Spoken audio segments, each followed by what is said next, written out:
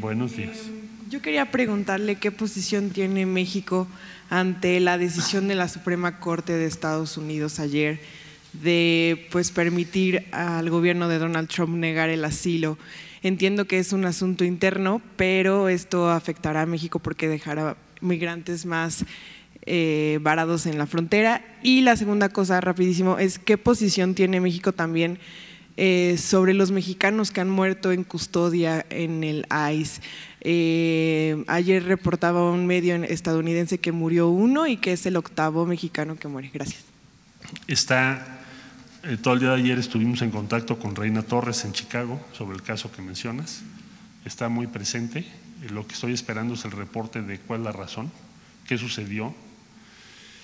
Y pues vamos a tomar todas las acciones legales y necesitamos tener claro qué es lo que ocurrió con él. Desde luego que sí estamos muy, muy presentes. Yo diría que Reina Torres es de las cónsules más capaces y comprometidas que tiene México en Estados Unidos. Y ayer hablé varias veces con ella sobre ese asunto en particular. En cuanto yo tenga ese reporte, se los comparto, porque eso va a determinar el tipo de reacción que tenga México.